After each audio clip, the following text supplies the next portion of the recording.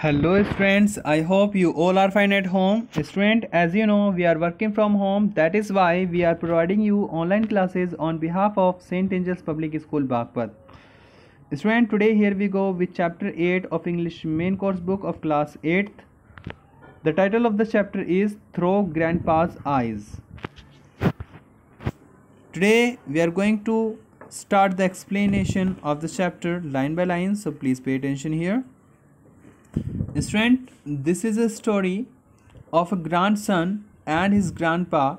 His grandpa is a blind man, and uh, his grandson is trying to watch, is trying to see the world through the method of his grandfather. एक grandson अपने दादाजी की दादाजी की नज़रों से दुनिया को देखने की कोशिश कर रहा है कि उसके जो दादाजी हैं, वो आँखों से अंधे हैं, वो एक ब्लाइंड पर्सन है। तो उसके दादाजी कैसे मैनेज करते हैं अपने आप को, ये वो देखना चाह रहा है। ये वो चाहता है कि किस तरीके से वो ऐसा कुछ करते हैं। वो किस तरीके से अपनी डेली लाइफ को मैनेज करके चलते हैं, ये इस चैप्टर के अंदर दिखाया गया है। So let's start the explanation grandpa does not see things the way I do तो वो कह रहा है, जो मेरे दादाजी हैं डज नॉट सी थिंग्स वो चीज़ों को ऐसे नहीं देखते द वे आई डू जैसे मैं देखता हूँ। He has his own way of seeing things उनका एक अपना ही तरीका है उन चीज़ों को देखने का। उनका एक अपना ही तरीका है उन चीज़ों को देखने का, जिन्हें हम आम लोग आम नज़रों से देखते हैं। तो आगे क्या कहता है वो? इन द मॉर्निंग सुबह के वक्त the sun pushes through the curtains into my eyes जो सूरज है, वो, जो कर्टन्स जो पर्दे लगे हुए हैं मेरे कमरे में, उन पर्दों से होते हुए मेरी आँखों को पुश करता है, यानी कि मेरी आँखों पर आकर लगता है सूरज, यानी कि रोशनी जो है मेरी आँखों पर पड़ती है। It wakes grandpa differently from the way it wakes me लेकिन जो सूरज है, जिस तरीके से वो मुझे जगाता है, उससे ठीक डिफरेंट बिल्कुल अलग तरीके से वो दादाजी को जगाता है। He says it touches him मेरे दादाजी कहते हैं कि वो मेरी आँखों में वो मेरी आँखों को पुश नहीं करता, बल्कि क्या करता है? ही सेज मेरे दादाजी कहते हैं कि जो सूरज है इट टचेज हिम वो मुझे छूता है टच करता है। वार्मिंग हिम अवेक और मुझे गर्मी देता है। इट मीन्स मुझे गर्मी महसूस होती है, तब मुझे लगता है कि हाँ सुबह हो गई है। ग्रैंड पा स्माइल्स ग्रैंड पा जो है, वो थोड़े मुस्कुराते हैं because he hears me enter his room अब जैसे ही मैं उनके रूम में एंट्री करता हूँ तो ग्रैंड पा तुरंत स्माइल मुस्कुराना शुरू कर देते हैं। वो समझ जाते हैं कि मैं इस वक्त उनके रूम में एंट्री कर चुका हूँ। और वो कहते हैं मुझसे गुड मॉर्निंग जॉन उस बच्चे का जो नाम है, वो जॉन है। ये क्वेश्चन पूछा जा सकता है यू मस्ट लर्न इट तो जो इस कहानी का नरेटर है, वो कौन है? जॉन। ठीक है? Where is Nana I ask him मैं उससे मैं उनसे पूछता हूँ, अपने दादाजी से पूछता हूँ वेयर इज़ नाना नाना कहाँ पर है? नाना एक्चुअली उसकी दादी का, वो अपनी दादी को प्यार में नाना बुलाता बुलाता है कि नाना कहाँ पर है। डोंट यू नो नहीं, तुम्हें नहीं पता? क्लोज योर आइज़ अपनी आँखें बंद करो John and look through my eyes और मेरी नज़रों से देखो। अब जब, वो जो जॉन है, जब अपने दादाजी के कमरे में एंट्री करता है तो वो अपने दादाजी से पूछता है कि, दादाजी, नाना कहाँ पर हैं? यानी कि दादी कहाँ पर हैं? तो उसके दादा कहते हैं कि, तुम्हें नहीं पता कि तुम्हारी दादी कहाँ पर है? ठीक है, चलो, तुम मेरी नज़रों से देखो। अब बस अपनी आँखें बंद करो। और तुम्हें पता चल जाएगा कि तुम्हारी दादी कहाँ पर है। अब जैसी वो आँखें बंद करता है, उसके बाद क्या होता है? आई क्लोज माई आइज़ मैंने अपनी आँखें बंद की डाउन बिलो और नीचे, यानी कि ये जो फ़िलहाल है, ये कहाँ हैं? ये ऊपर वाले कमरे में हैं। और नीचे कहीं पर आई हीयर मुझे सुनाई दी द बैंगिंग ऑफ़ पॉट्स यानी कि जो बर्तन हैं, उनके खटकने की, यानी कि उनकी पिटाई की या उनके बजने की आवाज़ मुझे सुनाई दी पोर्ट्स बर्तनों की। And the sound of water और पानी के चलने की, पानी की आवाज़ मुझे सुनाई दी। यानी कि सीधी सी बात है, कोई पानी से बर्तनों को धो रहा था, जिससे आपस में उनके टकराने की भी आवाज़ हो रही थी। रनिंग पानी के बहने की आवाज़ हो रही थी that I didn't hear before जो मैंने पहले नहीं सुनी थी। यानी कि जब तक मेरी आँखें खुली हुई थी तो मैं सिर्फ़ देख रहा था, मैं सुन नहीं रहा था, मेरा ध्यान कहीं और था। लेकिन जैसे मैंने आँखें बंद की तो मेरा ध्यान तुरंत उस उन आवाज़ों पर गया, जो मेरे आसपास हो रही थी। और जब मैंने ये नोटिस किया, तब मुझे पता चला कि मेरी जो दादी हैं, वो कहाँ पर है? नाना इज़ इन द किचन नाना जो है, यानी कि दादी जो है, वो कहाँ पर है? वो किचन में है मेकिंग ब्रेकफास्ट और वो फ़िलहाल ब्रेकफास्ट नाश्ता तैयार कर रही है आई सी मैंने कहा। तो ये एक बहुत ही अनयूज़ल फीलिंग होती है, जो अक्सर सिर्फ़ वही लोग महसूस करते हैं जिनकी आँखें नहीं होती। आपने देखा होगा कि अक्सर जो अंधे लोग होते हैं या जो इस तरह की जिनकी कोई इंद्री काम नहीं करती, यानी कि अंधे, बहरे या गूँगे जो होते हैं, वो स्पेशल एबिलिटीज़ पैदा करते हैं अपने अंदर।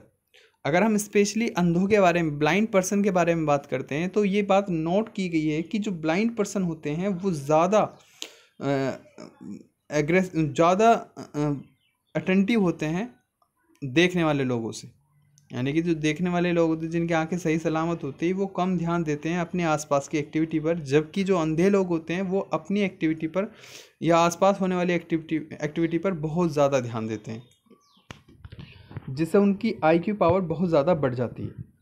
When I open my eyes again जब मैंने अपनी आँखें दोबारा खोली जॉन ने जब दोबारा अपनी आँखें खोली आई सी ग्रैंड पा नॉडिड एट मी मैंने देखा कि दो जो दादाजी हैं, वो नॉडिड कर रहे हैं, वो मुझे हिला रहे हैं पकड़ कर ही इज़ टॉल वो मेरे जो दादाजी हैं, वो लंबे हैं विद लाइट ग्रे हेयर उनके जो बाल हैं, वो लाइट ग्रे हल्के भूरे रंग के बाल हैं and his eyes are sharp blue और उनकी जो आँखें हैं, वो पूरी तरीके से नीली हैं, नीले रंग की आँखें हैं इवन दो हालाँकि they are not sharp seeing वो देख नहीं सकते। अब नीचे से वो इतनी बातें हो रही हो, ही रही थी, तभी नीचे से आवाज़ आती है, ब्रेकफास्ट, नाश्ता तैयार है, कॉल्स, नाना नाना पुकारती है हम दोनों को। I smell eggs frying says grandpa अब दादाजी कहते हैं, मुझे अंडों के भुनने की फ्राइंग मीन्स भूनना, मुझे भुने हुए अंडों की या अंडे भूनने की स्मेल आ रही है, गंध आ रही है एंड बटर टोस्ट और बटर्ड यानी कि मक्खन लगे हुए टोस्ट की आवाज़ मुझे आ रही है।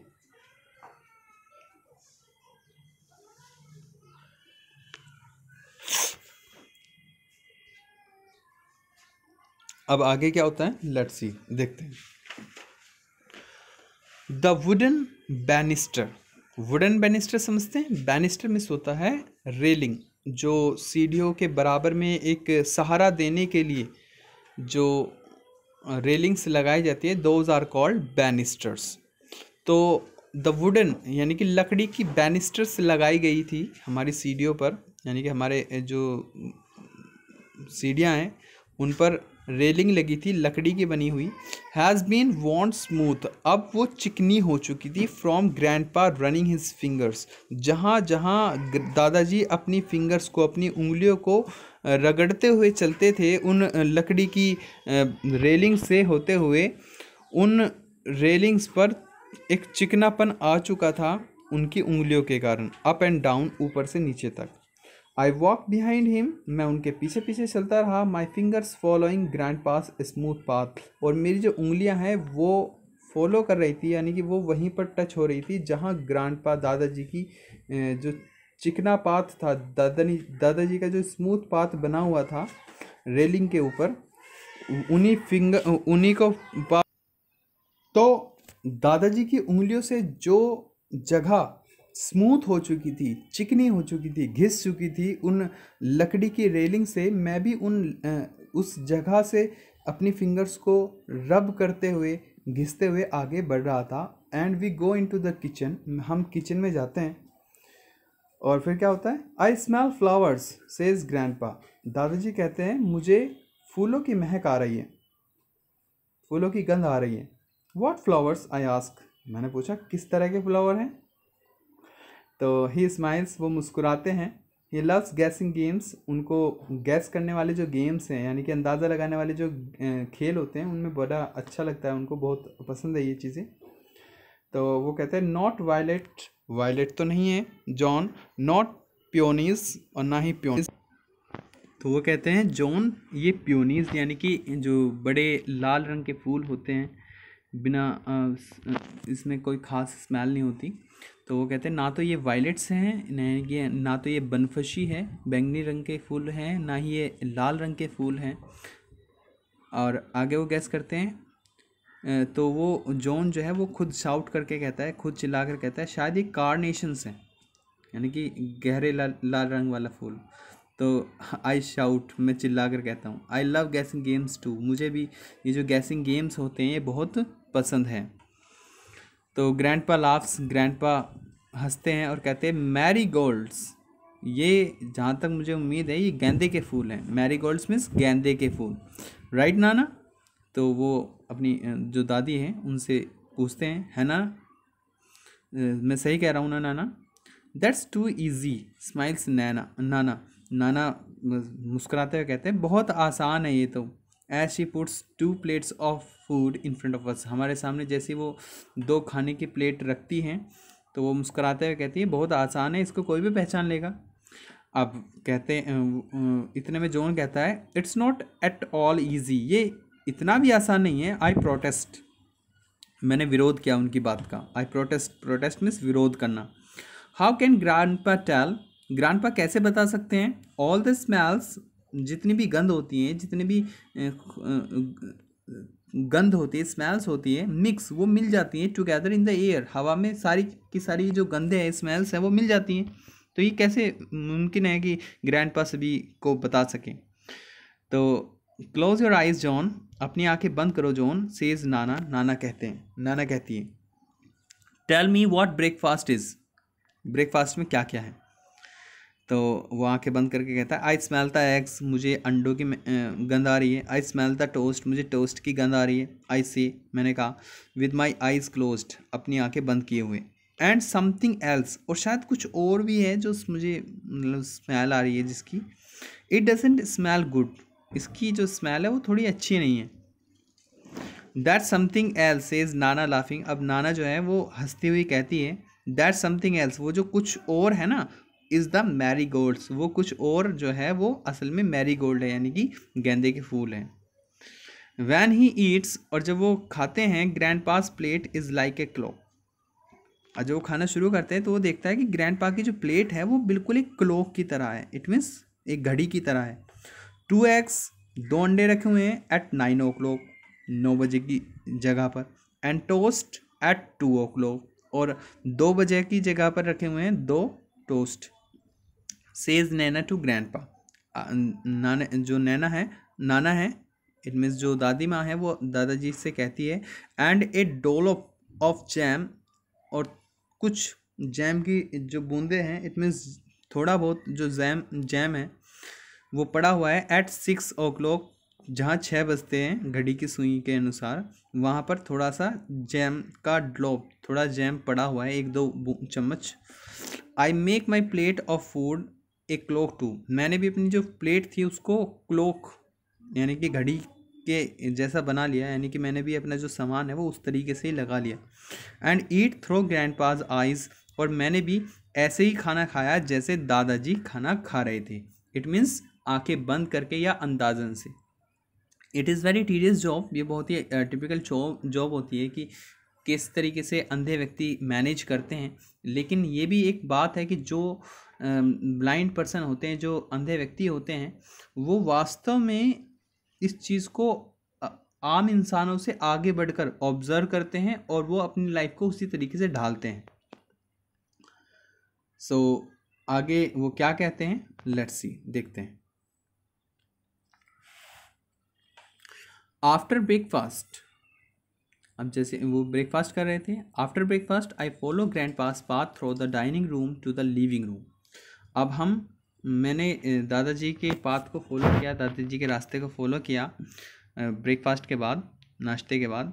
वो डाइनिंग डाइनिंग रूम से अब लिविंग रूम की तरफ़ जा रहे थे टू द विंडो खिड़की की तरफ़ that he opens to feel the weather outside और वो खिड़की की तरफ़ जाते हैं और वो उसको खोलते हैं ताकि वो बाहर के मौसम को महसूस कर सकें and to his cello in the corner और वो अपने सैलो की तरफ़ जा सके। सैलो एक प्रकार का वायलिन होता है जो काफ़ी बड़ा होता है आकार में, जिसको पैरों के बीच में रखकर बजाया जाता है। That is very big in size violin पुराने वक्त का एक वायलिन होता था। अब वो कहते हैं will you play with me John he asks वो मुझसे पूछते हैं, क्या तुम मेरे साथ बजाओगे? इट मीन्स मेरे साथ इस वायलिन को प्ले करोगे?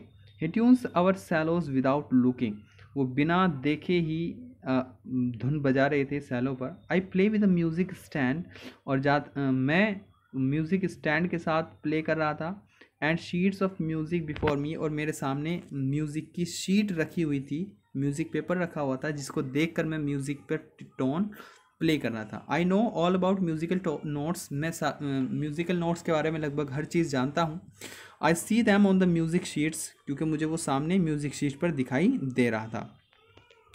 But grandpa plays them they are in his fingers लेकिन जो दादाजी हैं, वो बिना देखे उसको प्ले कर रहे थे, क्योंकि वो जो ट्यून्स थी, वो असल में शीट पर ना होकर दादाजी की उंगलियों में थी। इट मीन्स वो प्रैक्टिस काफ़ी कर चुके थे इस चीज़ की और उन्हें इस म्यूज़िक प्ले करने की काफ़ी प्रैक्टिस थी उन्हें, उनकी उंगलियों को, उनकी फिंगर्स को। Listen I will play a piece I learn when I was your age तो वो कहते हैं कि, देखो, मैं एक धुन बजाने धुन, छोटी सी धुन बजाऊँगा जो मैंने सीखी थी जब मैं तुम्हारी उम्र का था इट वॉज़ माई फेवरेट वो मेरी फेवरेट थी। Grandpa plays the tune while I listen और दादाजी ने उस ट्यून को बजाया जब मैं उसको सुन रहा था। That is the way he learns और यही वो तरीका था जिससे वो सीखते थे न्यू पीस नई धुन बाय लिसनिंग और वो क्या था? सुनकर। यानी कि वो सुनकर ही सीखते थे। Now says grandpa let's do it together चलो, अब इसको साथ साथ करते हैं। अब वो दोनों एक साथ प्ले करने लगते हैं। उसके बाद क्या होता है? लेटर फिर बाद में वी वॉक आउट आउटसाइड हम बाहर की तरफ़ जाते हैं थ्रो द फ्रंट यार्ड आगे के आँगन से होते हुए and ex across the field और खेत से होते हुए, खेत को पार कर कर टू द रिवर नदी के पास पहुँचते हैं। Grandpa has not been blind forever दादाजी जो है, वो हमेशा से अंधे नहीं थे। He gently takes my elbow as we walk so that I can help show him the path. He gently takes my elbow. वो बहुत ही आराम से मेरी एल्बो एल्बो मिस होता है मेरी कोहनी को पकड़े हुए थे एज वी वॉक जैसे हम चल रहे थे सो so दैट ताकि आई कैन हेल्प मैं मदद कर सकूँ शो हिम उनकी दिखाने में द पाथ रास्ता, उनको रास्ता दिखाने में मैं उनकी मदद कर सकूँ। तो उन्होंने थोड़ा सा मुझे पकड़ा हुआ था मेरी एल्बो से, मेरी कोहनी को उन्होंने पकड़ा हुआ था, ताकि मैं उन्हें रास्ता दिखाने में मदद कर सकूँ। so friend this was the first part and it is end of part one. Uh, we will soon meet you again in the next part with the rest of the chapter. Till then stay at home. Be safe. Thank you. Have a nice day.